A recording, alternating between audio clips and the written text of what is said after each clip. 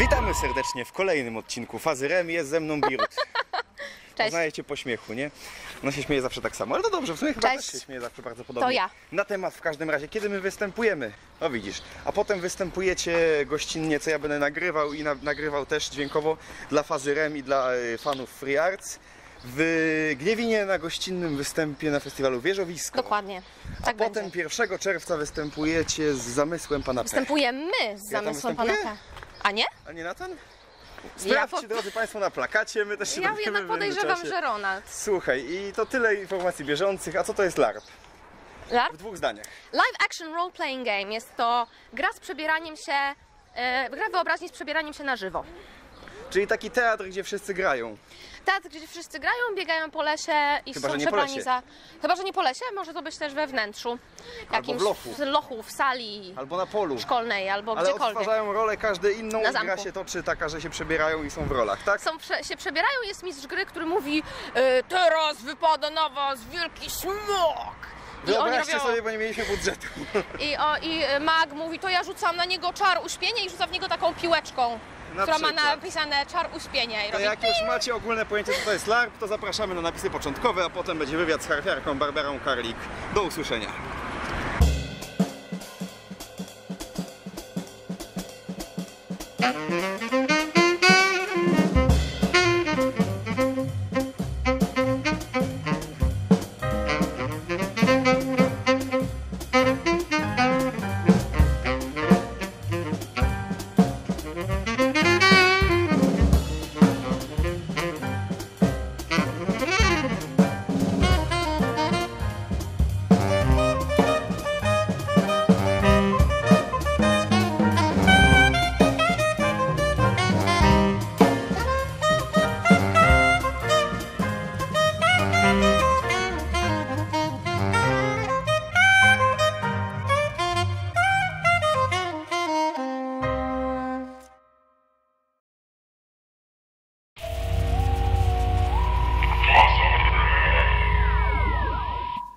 Witamy Was serdecznie słuchacze po przerwie na reklamę. Yy, jesteście w fazie REM, a ja tu jestem z gościem moim dzisiejszym, czyli Barbarą Karlik, yy, harfiarką. Jak tam? No jest bardzo ciekawie. Jest koniec lutego, czyli okres, w którym zwykle nie robię absolutnie nic, a ja robię absolutnie wszystko. Ja to Ciebie jakoś w ogóle zagaduję w lutym, zauważyłem. W zeszłym roku żeśmy też w Ukuluty. lutym się, tak, ukuluty robiłem, żeśmy się organizowali na luty. Jakoś nie wiem i chyba wydaje mi się, że audycję y, o muzyce około fantastycznej y, trzy lata temu, dwa lata temu też robiłem w luty. Może po prostu czasami masz ochotę komuś lutnąć. Lutnia, lutnia może to jest przez to. Ale ja harfa, nie lutnia. Ja Ale wiem, i wczoraj, no przedwczoraj bliżej- grałam koncert z bardzo, bardzo sympatyczną lutnistką i bardzo sympatycznym człowiekiem z gitarą l- renesansową, nie lutnią renesansową, ale Anika Szeliga i Bart the Bard. Polecam ich oboje. Bardzo fajni ludzie. Dobra. Powiedz mi, bo ja się staram tutaj jakoś spróbuję tak unikać pytań typowych, bo większość takich pytań typowych już sobie wielokrotnie zadawano i w wielu różnych wywiadach prawdopodobnie można je usłyszeć. Jak już skończycie słuchać naszego podcastu, to możecie posłuchać innych, na razie nigdzie nie odchodźcie. Yy, za to tak się zastanawiam, yy, ile ty grasz na harfie? To jest z serii typowych pytań, które muszę odhaczyć. Musiałabym policzyć wszystkie utwory. Od masz jeden rocznik, czy jakoś- 2001 roku. Nie, nie. Raczej mam na myśli, że wiesz, pytając mnie, ile gram na harfie, jest Jak nieprecyzyjne przez- pytanie. Jest, jest, ale tak jak żeśmy sobie rozmawiali przed rozpoczęciem nagrania, to nie jest hiperprofesjonalny Ale podcast. rzeczywiście, a ja nie mówię, że to nie jest nieprofesjonalne pytanie. Ja po prostu się czepiam i robię sobie z tego Wiesz głupie co? żarty. To jest faza REM, dlatego że tu jest trochę psychodelicznie i nigdy nie Tak. wiesz, co się zdarzy. Tak. W każdym razie gram od 2001 roku, od ym, listopada, więc trochę już lat minęło. Dlaczego od listopada? Dlatego, że we wrześniu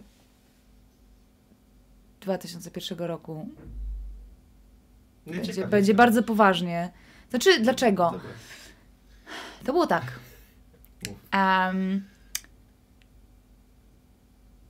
moja pierwsza harfa to był trochę cud i co prawda jest to prawda rzecz, którą często poruszam, ale uważam, że jest to taka niesamowita dosyć historia, bo ja zawsze, zawsze, zawsze chciałam grać na harfie i ale no, harfa to jest tak niewyobrażalnie drogi instrument, że nawet człowiek nie śmie pytać. Gitara po prostu pokazała mi, że instrumenty to nie jest moja silna sprawa. Może zostanę przy śpiewie. Zaczęłam śpiewać w zespole celtyckim. Zaczęłam szukać y, tych informacji na temat harfy i dowiedziałam się, że harfa może mieć metalowe struny i przepadłam. Mówię, muszę mieć metalowo-strunową. I jak znalazłam wreszcie taką harfę, która była w moim zasięgu cenowym, to było 400 ileś dolarów, czyli około 2000 zł, 2001 rok. Było to całkiem niezłe koszty. E, to wtedy e, stwierdziłam, że jestem w stanie to uzbierać.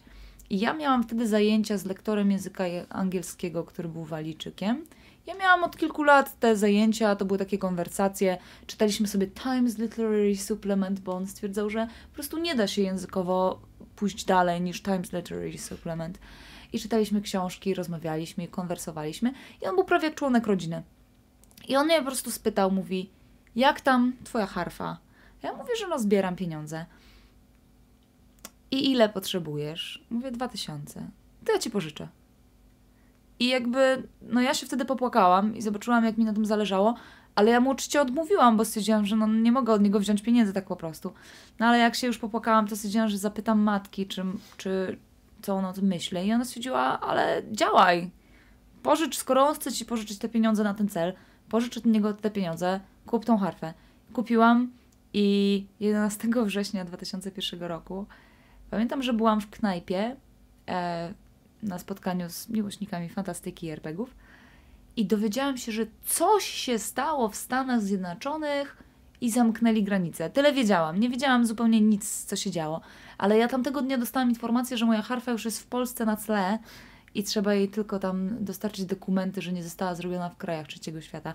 Więc moim pierwszą myślą była, ok, wyleciała już ze Stanów. Potem oczywiście dowiedziałam się na temat tego, co się tam działo i oczywiście zrobiło mi się smutno i przykro, ale um, harfa jeszcze musiała zostać złożona. Trochę mi zajęło zajęcie osób, które by ją złożyły, chociaż to był zestaw zrób to sam i teoretycznie mogłabym to zrobić sama, ale się strasznie bałam, więc zaangażowałam do tego lutnika. W pełni rozumiem. E, jeden lutnik na przykład mi odmówił, bo stwierdził, że to byłoby jakbym chciała zrobić z kretonu suknię balową i oni nie będą takich rzeczy robić. No ale jeden z tych lutników zrobił właśnie, złożył tą moją pierwszą harfę i kiedy ją odebrałam, to po prostu byłam absolutnie zachwycona. Tylko nakrzyczałam do mojego brata, że ma jej nie dotykać, dopóki się nie nauczę grać. Bo jednym z, e, w zasadzie dwa razy jak uczyłam się grać na gitarze, to było tak, że ktoś się uczył równolegle do mnie i tej osobie lepiej szło i ja rezygnowałam. Za trzecim razem, jak się uczyłam grać na gitarze, robiłam to tylko dla siebie, samodzielnie przez pół roku i po prostu nie weszło. Ja prostu stwierdziłam, że może jednak te instrumenty to nie, jest, to nie jest fajna sprawa. A że mój brat grał na klawiszach i na gitarze, no to wiadomo, każdy następny instrument jest trochę prostszy. On był w stanie tą harfę wziąć i tam coś już zacząć tam coś tam kombinować, więc powiedziałam mu, że łapy precz generalnie mówiąc od wolnej bardani i generalnie mówiąc odejdź bracie. I on odszedł brat, e, a ja miałam czas, żeby spędzać godziny na tym, że patrzyłam na moje palce i myślałam do czwartego palca mojej ręki, zagnij się, zagnij się, a on się nie chciał zgiąć, no bo przecież to czwarty palec, on nie będzie się tak ruszał niezależnie. To Większość ten, muzyków strunowych tak ma na początku, nie? Y, Ja tobie powiem, że ja przez y, 3 czy 4 lata, od kiedy stwierdziłem, że dobra gram, bo tam muzyką się jakoś w mniejszym stopniu zajmuję od wczesnego dzieciństwa, się moi rodzice w zespole poznali, więc siłą rzeczy muzyka w domu była. Y, Ale przez pierwsze 3-4 lata, jak się zajmowałem muzyką, to myślałem, mówiłem ludziom, że ja jestem antytalent strunowy, że ja mogę na klawiszach pograć, że flety trochę może, ale na pewno nic na strunowych instrumentach nie będę grał, bo nie umiem, próbowałem, nie wychodzi. Teraz gram na parunastu. Więc jest tak, że po prostu w pewnym momencie coś zaskoczy, że znajdziesz coś, co tobie odpowiada i potrafisz wtedy wejść w to. To znaczy, mi się wydaje, że też jest kwestia znalezienia swojego miejsca, swojego instrumentu. Gdybym Tak. ja zaczęła grać na gitarze, może nigdy nie zaczęłabym grać na harfie. Może tak po prostu miało być. Gdybym na przykład spotkała się z, jakby pytała rodziców, czy mogę grać na harfie i oni znaleźli sposób, żebym mogła w, w szkole muzycznej grać na harfie, to zaczęłabym grać na harfie klasycznej, a to by mi utrudniło wejście we wczesną harfę celtycką. A masz, jak, przepraszam, że przerywam, ale No. masz jakiekolwiek pojęcie o harfie klasycznej? W sensie y, Znaczy wiem jak wygląda, wiem jak, y, jak się przy niej siedzi. E, wiem teoretycznie, jaka jest pozycja rąk, w jaki sposób, jaka jest mechanika ruchu. Jest ona inna zupełnie niż przy wczesnej harfie celtyckiej. Bo to jest jakby. To jest tak, że jeżeli masz harfę. Znaczy, ma, są pewne jakieś tam cechy wspólne, ale już pomijając kwestię ramienia, także harfę, na harfie orkiestrowej gramy na prawym ramieniu, prawa ręka gra melodię, lewa ręka gra akompaniament, one czasami gdzieś tam Czyli się drodzy haczą. słuchacze, leży na, na prawym barku ten cały instrument po prostu. Tak, znaczy. Bo my możemy rozmawiać to o teorii muzyki bardzo, Tak, tak, słuchają, tak. więc trochę nas W cofa. każdym razie, w każdym razie na prawym, na prawym prawa ręka melodia, lewa ręka akompaniament. I neoceltyckie harfy, takie jak na przykład jak Lorina McKinnon gra, czy Maja Brennan z Klanadu, czy, czy prawda, ogólnie najczęściej widziane tak naprawdę harfy celtyckie, harfy irlandzkie, to są XIX-wieczne wynalazki, czyli pewien y, twórca harf z Dublina stwierdził, że zrobi nową, ulepszoną harfę, orkie- y, harfę celtycką, wziął harfę orkiestrową, skurczył, skurczył ją do wymiaru ją. harfy celtyckiej, pomalował ją w złote szamroki, czyli w koniczynki, bo to takie irlandzkie. I zamiast pedałów, ponieważ harfa orkiestrowa ma 7 pedałów, każdy pedał jest odpowiedzialny za jedną wysokość dźwięku, tak, czyli na przykład za strunę C mamy pedał. w pierwszych harfach był jakby single action, czyli miał, był wyłączony albo włączony, natomiast we współczesnych harfach orkiestrowych to jest double action, czyli ma dwa schodki. Jak jest wyłączony, to mamy wszystkie O struny. pół tonu i o ton, czy o pół tonu w górę w dół? Yy, to jest tak, że jak jest wyłączony, to masz strunę z bemolem, jak masz włączone na pierwszy schodek, to strunę bez niczego, a jak masz ten, to strunę z krzyżykiem. okej. No, więc generalnie mówiąc, jest... Czyli trochę niżej, trochę wyżej zasadniczo. Tak trochę jest. Wyższy, trochę wyższy dźwięk, trochę niższy. Tak, przez co harfa orkiestrowa jest chromatyczna, tak jak to mówię, jakby była fortepianem, Że białe i można czarne klawisze. tam. W, W sensie wszystkie nie lubię tego można, stwierdzenia, No, no, można wszystko zagrać. Absolutnie Generalnie mówiąc, zgadzam jakby się. była fortepianem, białe i czarne klawisze. tak. Wczesna harfa celtycka jest diatoniczna, czyli Dostrojona do tonacji. dostrojona do tonacji. Na przykład, jeżeli jest C duże, ma tylko białe klawisze, nie ma czarnych klawiszy. Nadal uważam, że da się na niej wszystko zagrać, ale niektóre rzeczy trzeba potraktować bardzo kreatywnie. się zastanawiam, bo na przykład bluesa, gdzie masz y, dźwięk półtonowy, piąty. To znaczy, wiesz, em, ja nie gram bluesa, więc mnie to nie rusza, tak, właśnie ale tak wiem, że są ludzie, którzy grają jazz na harfie. I nie wiem, czy na wczesnej celtyckiej, ale na harfie metalowo-strunowej na przykład. Bo teoria muzyki mnie fascynuje i No, ale nie ten skończyliśmy techniki. Mów o technice. Tak. I generalnie mówiąc, przy harfie orkiestrowej ten palec leży pod kątem, jakby jakbyśmy sobie położyli go na Ręka generalnie mówiąc jest tak ustawiona, że krawędzią palca szarpie za strunę. Jest nacisk i jest uderzenie. Przy wczesnej harfie celtyckiej metalowe struny nie znoszą szarpania. Jak je poszarpiesz, to je porwiesz. Po prostu. I wręcz w źródłach pisanych mamy, że nie, struny nie są szarpane, tylko uderzane paznokciem. I jak to mawia jedna z moich nauczycielek, pozycja rąk jest taka, jakby się trzymało dwie szklanki whisky i nie chcesz jej wylać na harfę. I po prostu palce uderzają, ale nie ma w tym siły. Jednym z takich znanych problemów harfistów orkiestrowych jest fakt, że mają zespół cieśni nadgarstka bardzo często. Jeżeli technika gdzieś tam e, nie domoże, albo gdzieś tam, prawda, e, zaczynają grać za bardzo Trochę siłowo, podchodzi pod banjowy clawhammer. tak, dostają generalnie od zespołu cieśni e, nadgarstka. Natomiast wczesna harfa celtycka jest w ogóle niesiłowa. To jest To precyzja, ale jak dla mnie bomba. Bezpieczniej, przyjemniej. Tak. Słuchaj, ja z wykształcenia jestem pedagogiem, więc się spytam o takie rzeczy, które też słuchacze mogą mnie interesować. Za to y, obraz harfy w Twoim życiu, skąd się wziął idea harfy? Bo mówisz, że wcześniej niż harfa, więc... Ja podejrzewam, że we w poprzednim wcieleniu byłam wczesną harfą celtycką, to jest moja teoria. Mi się śniła harfa mała w kształcie Pegaza, potem zresztą znalazłam takiego jednego kolesia, co robi takie y, dzikie instrumenty, y, jak jeszcze nie wiedziałam, że małe harfy istnieją, wobec czego jakby trudno powiedzieć. Myślę, że to przez osmozę albo nie wiem, przez wspomnienia z poprzednich wcieleń albo przez trasy ptaków przelotnych i energię z kosmosu. Czyli przeznaczenie. Tak właśnie. E, Mówiłaś o harfach neoceltyckich, że są harfami orkiestrowymi, trochę przerobionymi, zmniejszonymi. Podobnie jest, y, widuje się teraz gitary lutniowe. Czyli niby lutnia, ale tak naprawdę strój gitary, wszystko jak na gitarze, żeby gitarzysta mógł się łatwo przerzucić. I co mnie bardzo denerwuje, że banjo sześciostrunowe nazywają taki instrument, a to jest banjitar, czyli gitara z pudłem od banjo, bo gitarzyści są leniwi. Wszystko chcą grać tym samym strojem. Myślę, że fajne jest to, że tworzone są nadal nowe instrumenty, które pozwalają się Też. ludziom bawić rzeczami. Gitara lutniowa jest o tyle super fajnym instrumentem, że doskonale nadaje się na to, żeby wziąć ją na larpie na przykład. Tak, absolutnie. Dużo tak. fajniej wygląda niż zwykła gitara, aczkolwiek Ale można wziąć lutnię. Byłam teraz, tak, tylko że to już wymaga innej techniki i jest wyższy Tak. próg wejścia.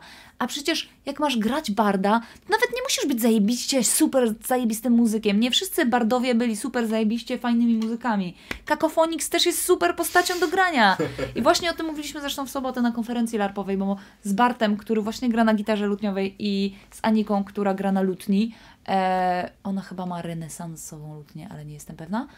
Em, Spopularyzował Mówiliśmy- do lutni, bo tak, potem się rozpopularyzował klawesyn, a wcześniej nie było lutni tak mocno. no, no. Wchodziły strunowe. W każdym razie myśmy mieli panel na temat muzyki na larpach i to było super. Opowiadaliśmy właśnie o, o tym, jak wykorzystać muzyków w swoich larpach, jak grać muzyków i jak jest savoir-vivre wobec muzyków na larpie. Jest generalnie mówiąc taki jak savoir-vivre wobec muzyków w życiu, czyli nie dotykaj instrumentu bez pytania, nie dotykaj instrumentu bez pytania oraz możesz ze mną grać różne rzeczy, ale nie dotykaj mojego instrumentu. My sobie zrobimy krótką przerwę na coś, co kiedyś będzie reklamą. A o larpach i o w ogóle fantastyce porozmawiamy później, bo żeśmy tak weszli w teorię tutaj, że nam się skończyła pierwsza połowa nagle. Do usłyszenia Pięknie. za chwilę, słuchacze.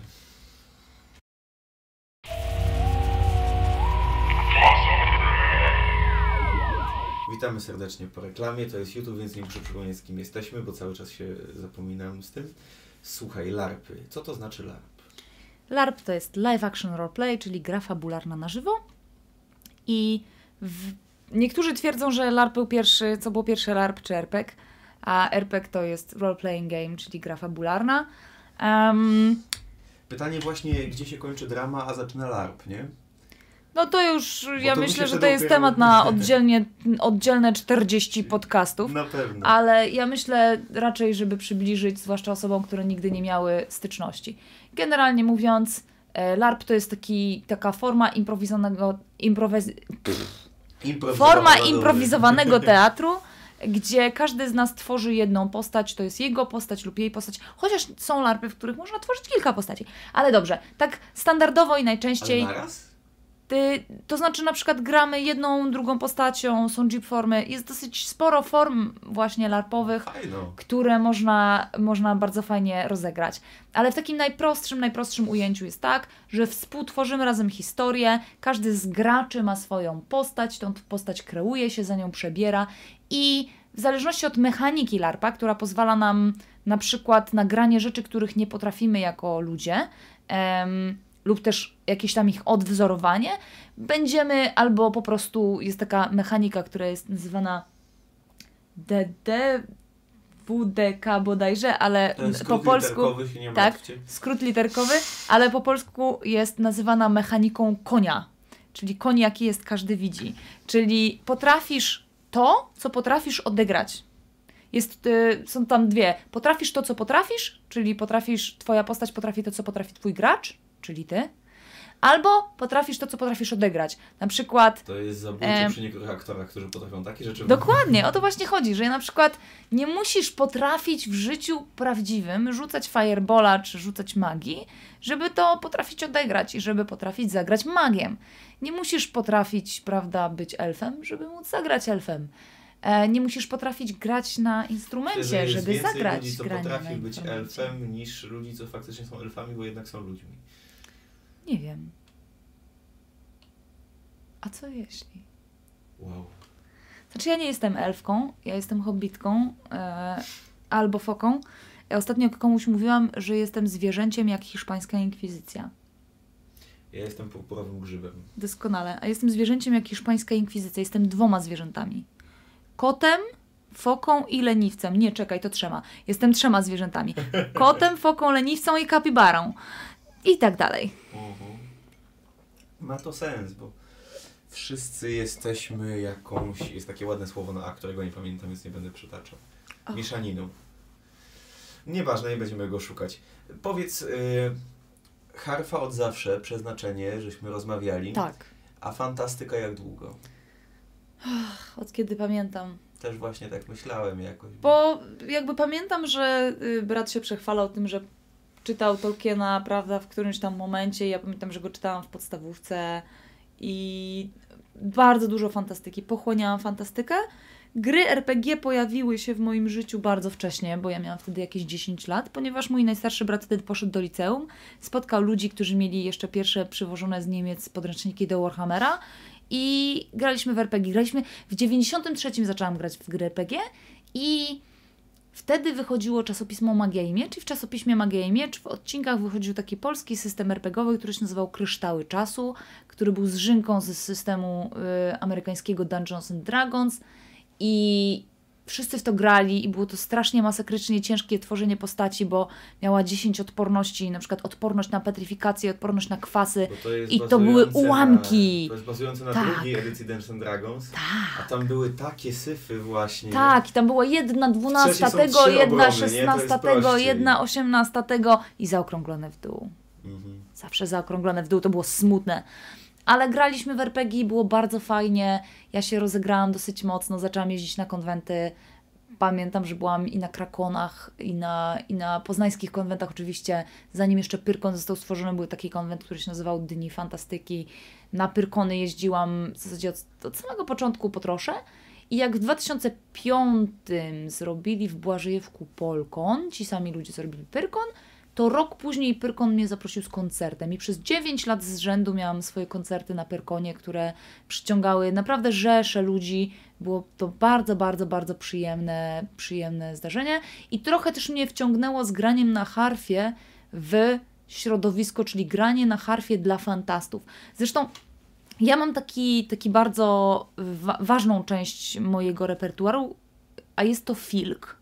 Nie wiem, czy spotkałeś się Ja z tą nazwą. Słuchacze się nie spotkali, Tak a jest. bardzo chętnie słuchacze wtajemniczył, więc może Tak powiedzieć. jest. E, moją definicją, że jest to, że filk to jest folklor światów wymyślonych, ale y, fol, filk to również jest folklor fandomu, więc nie tylko, Dokładnie. więc jakby mm,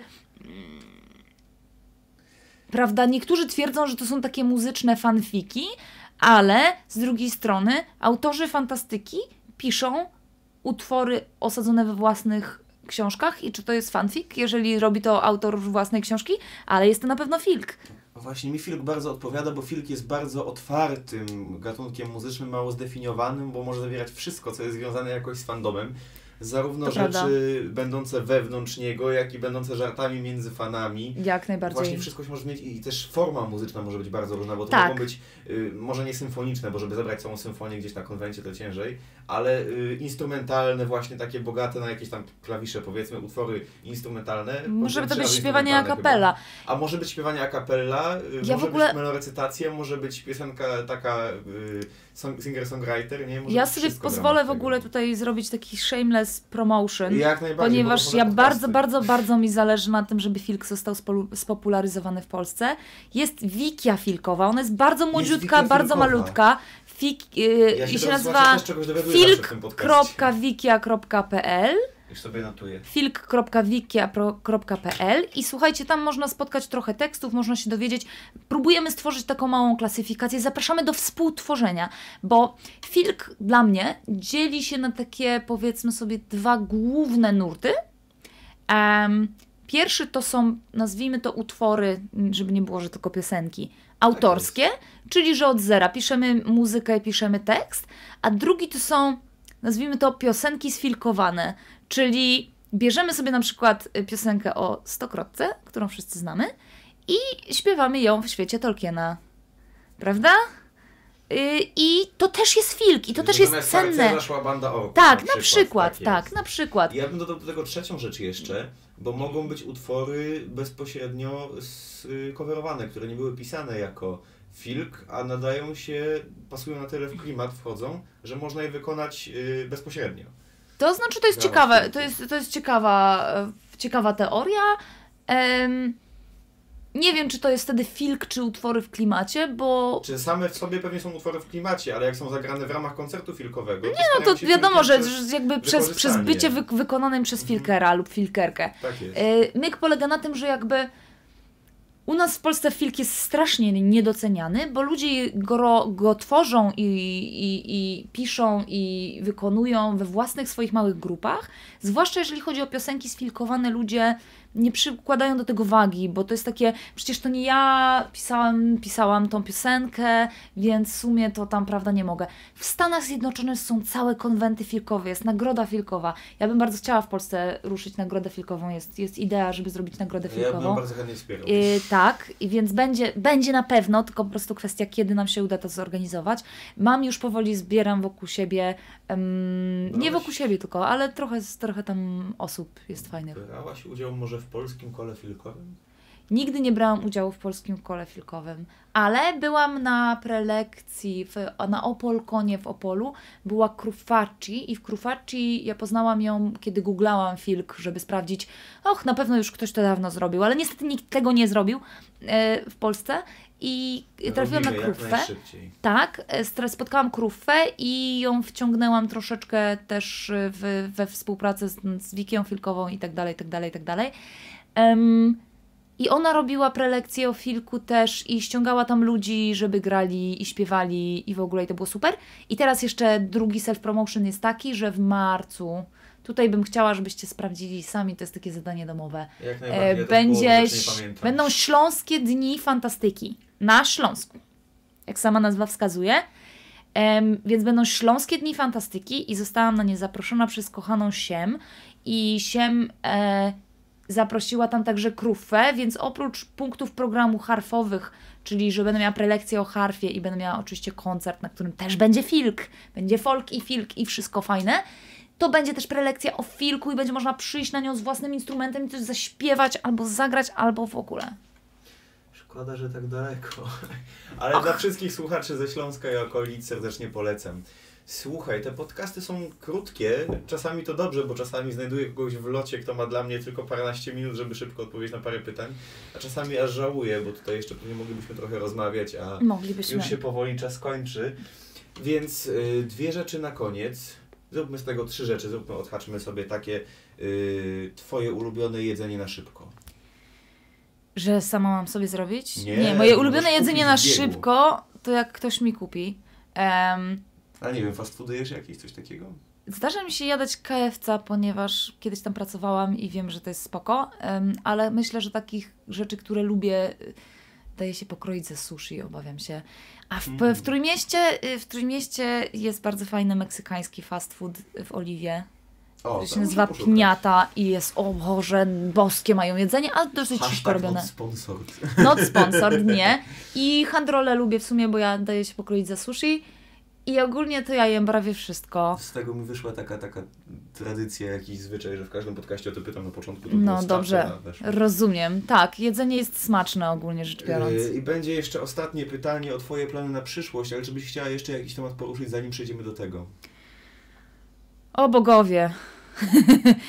to znaczy, chwilę jeszcze, tak, to jeśli mamy, myślę, że w ten- takim razie za- zapytaj mnie o plany na przyszłość. No się pytam o plan na przyszłość, może to się przyciągnie samo Plany przyszłość, na przyszłość i teraźniejszość. Ja w tej chwili jestem zaangażowana w gigantyczny projekt i to jest em, odtworzenie XVII-wiecznej harfy jeden do jeden. I jest dziewczyna w Irlandii, która będzie tą harfę dla mnie robiła. Ty to blogo-vlogujesz jakoś. Tak, idea jest, że będzie właśnie blogovlog, jeszcze nie ma podstrony na temat projektu Kilder, ale w tej chwili jesteśmy na takim etapie, że w zeszłym roku robiłam skan 3D w muzeum tego instrumentu, czekam na dane, ale już dostałam pierwsze screenshoty i wyglądają absolutnie przebosko. Niestety poza pracą naukową nie mogę opublikować tych skanów, ponieważ prawa są przy muzeum w Dublinie, ale po pierwsze jak ktoś będzie bardzo, bardzo chciał, to będzie mógł napisać do muzeum w Dublinie oni tych skanów udzielą na cele naukowe na przykład. A po drugie, em, zamierzam na podstawie tych skanów zrobić wydruk y, na drukarce 3D i ten wydruk już nie jest skanem, wobec czego będę mogła Wam go pokazać i będę mogła go obfotografować. Zdjęcie, zdjęcie, Będą zdjęcia, będą filmiki, w ogóle będzie super fajnie. A historia jest następująca, że jest instrument z e, około 1700 a 60 roku, jeśli dobrze pamiętam. Jest to harfa Kilder i jest to przepięknie rzeźbiona, malowana harfa. Ja ją będę malować, wobec czego muszę się przygotować z zakresu mm, malowania w tamtych czasach, tamtych technik i tego wszystkiego em, oraz tego, jak zdobyć jak najwięcej informacji, nie robiąc inwazyjnych testów, ponieważ nie będąc zrzeszona z żadnym uniwersytetem ani z, żadnym, z żadną instytucją naukową, raczej nie dostanę zezwolenia na żadne inwazyjne testy. Zresztą tak naprawdę nie czułabym się z tym dobrze. Em, ale zrobiliśmy nieinwazyjne, zrobiliśmy skan 3D, mam dosyć sporo zdjęć, których też niestety nie mogę opublikować, ale mogę je analizować, mogę, prawda, patrzeć i Powinnaś Opracowałam. jakieś zrobić, żeby móc pokazać, Tak! tego wam nie O, mogę pokazać, ale tak. wyglądało tak. Tak, tak, tak, tak.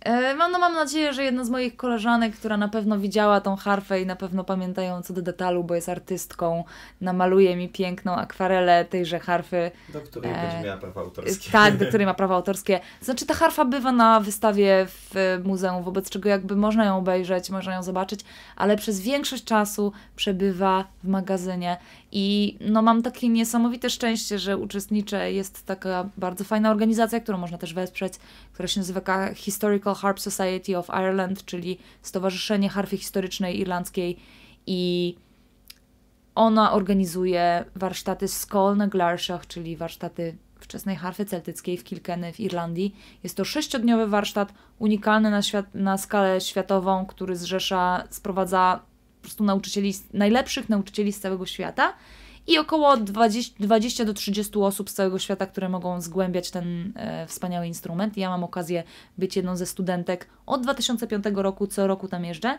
i w ramach ostatniego dnia jedziemy do Dublina zobaczyć e, wszystkie harfy, które są w Dublinie, e, które można obejrzeć. Taką harfą, którą zazwyczaj ludzie oglądają, jest harfa w jednej z najpiękniejszych bibliotek na świecie, czyli w Trinity College. Jest harfa XV-wieczna lub XVI-wieczna. Nie wiadomo z którego dokładnie wieku, bo nie była robiona żadna analiza, tak zwana harfa Briana Boru, ale mało osób wie, że w Trinity College są dwie harfy. Oni, oni mają jeszcze w magazynie taką zapasową harfę, którą czasem wyciągają. I oglądamy harfę, która jest w Muzeum, Guine- w Muzeum Guinnessa i jedziemy do Muzeum Collins Barracks w Dublinie, które w magazynie ma kilkanaście instrumentów, z których czasami jeden jest wyciągany na, na wystawę. A my wchodzimy do magazynu i oglądamy je w magazynie. I to jest super. Ile harf miałaś? W tej chwili e, miałam w ogóle trzy harfy. Jedna z nich, ta pierwsza, która była zrób to sam, jest u mojej przyjaciółki teraz i jest przez nim, ona jest jej nową właścicielką, natomiast mam swoją XV-wieczną harfę i, znaczy replikę oczywiście, Tak. czy też studencką replikę, ponieważ ma oddane odległości między strunami długości strun, ale nie ma ozdób i rzeźb. I mam małą A to 19-strunową. bezpiecznie, ci- ma- łatwiej ją ruszać, nie, nie bać się, że się poniszczy. Nie? No, ja myślę, że tamta harfa, którą będę, prawda, mieć tą kopię piękną, to ona będzie ubezpieczona po pierwsze, a po drugie, ale po drugie y, będzie dobrze, jak ona się troszeczkę zestarzeje, w sensie jak będzie taka strasznie nowa, to pewnie będzie wyglądać dziwnie. Tak. Moja harfa też się bardzo pięknie postarzała, ta, którą, na której gram teraz najczęściej, to jest właśnie replika XV-wiecznej harfy królowej Marii z Edynburga. Em, I ona się bardzo pięknie postarzała, bo już ona jest zrobiona strunowiny miała 21 czerwca 2006 roku, więc ma już ponad 10 lat i przepięknie się, z, jak to się mówi, rozwinęła z wiekiem. Ale mam też malusieńką taką tycią harfę 19-strunową, której główną zaletą jest to, że mieści się w overhead i na przykład była ze mną teraz w Ameryce Południowej w związku z tym. Bo moja Mairi, moja duża harfa, jak ze mną jeździ, to y, jak ze mną lata, to ma po prostu swoje siedzenie i jest y, pasażerką. I płacę za nią jak za pasażerkę. Jest. Ja sprytnie zawsze, y, jak jadę gdzieś z, instru- z instrumentami, to pakuję wszystko do gitary basowej, do pokrowca na gitarę basową i tam zazwyczaj jest 5-6 instrumentów schowanych, ale wygląda jak jeden, więc mniej, za, mniej problemów. Więc mogą ci zepsuć N instrumentów naraz, rzucając je w walizce. Nie, nie, zawsze sam bazową. rzucam, zawsze sam rzucam, a samolotami nie podróżuję. Dobra, No tak. będziemy się zwijać z tym podcastem, tak na samo zakończenie. Gdzie Ciebie można znaleźć, gdzie Ciebie szukać, mają słuchacze? No więc przede wszystkim można znaleźć mnie w internecie. Można Bez wejść na stronę harfiarka.pl Ponieważ jestem harfiarką, a nie harfistką, bo gram na harfie folkowej, a nie orkiestrowej. Masz to Harfiarka.pl. wyćwiczone, recytowane, prawda? Tak, harfiarka.pl, zapraszam na stronę, można mnie polubić na Facebooku i śledzić i na nie stronie. masz konkurencji w Polsce, więc swobodnie możesz do Hoduję sobie konkurencję, mam w tej chwili. Nie, to wtedy nie jest konkurencja, jak jest mam w tej hodowana. chwili jakieś 8-10 osób, które uczy się u mnie e, mniej lub bardziej regularnie wczesnej harfy celtyckiej. Idea jest, żeby zrobić im wreszcie koncert i wtedy będzie największy zjazd wczesnych harfiarzy celtyckich w historii Polski.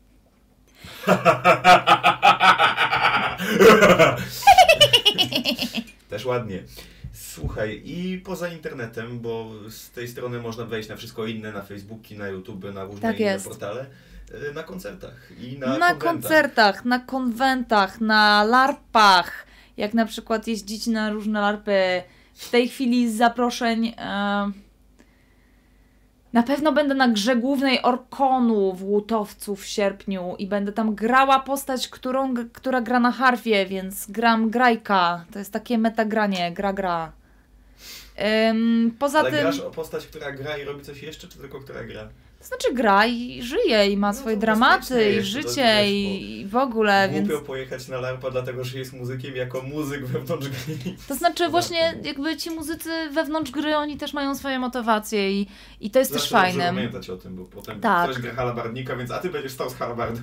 Tak, tak, tak. Halabardnik też może mieć ciekawe życie. I to bardzo ciekawe, czasami od tego zależy cały wynik Wszystkiego. wydarzenia. Tak. Tak jest. W najbliższym czasie, z tego co pamiętam, z zaplanowanych rzeczy 2 marca. To już będzie po, To już po jest premierze. tak? nieważne. Nieważne, ale w marcu jest śląskie, są Śląskie Dni Fantastyki, które mnie zaprosiły. E, Rozglądajcie się też w okolicy 17 marca, bo to są Dni Świętego Patryka. Jeszcze nie tak, mam tam w tej chwili żadnego koncertu. powinno być pewnie. Mm, Tak jest, ale, y, ale może się tak okazać, że coś się pojawi w moich planach w Poznaniu, okolicach, albo zupełnie na drugim końcu Polski. Jeszcze nie jestem w stanie Wam tego powiedzieć, ale wszystko się pojawia na www.harfiarka.pl i na mojej stronie facebookowej. Więc czasami to jest tak z partyzanta, na przykład informacja o Coli. Słuchajcie, jutro będzie tak, koncert. Jutro jest koncert, jeżeli jesteście w Krakowie, to fajnie. No ale to było, prawda, y, podawane też do informacji y, osobom, które jechały na kole. Jest, jest to trochę konferencja branżowa, jakby na to nie patrzeć. Dobra, jesteśmy zdecydowanie po czasie, nawet Overtime. jak będą wszystkie on, en, i inne Iii. tak jest. Przecież nie było tego dużo. Yy, to w takim razie tyle. Odwiedźcie stronę harfiarka.pl, yy, słuchajcie yy, jak harfiarka gra, słuchajcie fazy REM, bo też jestem fajny. Tak, to prawda, Ronald jest fajny, słuchajcie go, a jeśli stwierdzicie, że macie strasznie za mało harfiarki, to powiedzcie Ronaldowi, że mam mnie zaprosić znowu i pewnie się Bardzo, bardzo zgodzę. chętnie. Bardzo, Wtedy bardzo wrócę, chętnie. I'll be back. Gościem moim waszym była harfiarka Barbara Karlik. Do usłyszenia w odcinkach kolejnych. No to cześć.